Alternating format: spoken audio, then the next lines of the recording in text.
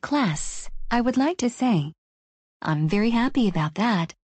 You, Tardooka and Mala, you did very good. You have finished your homework that I gave you. Oh wow.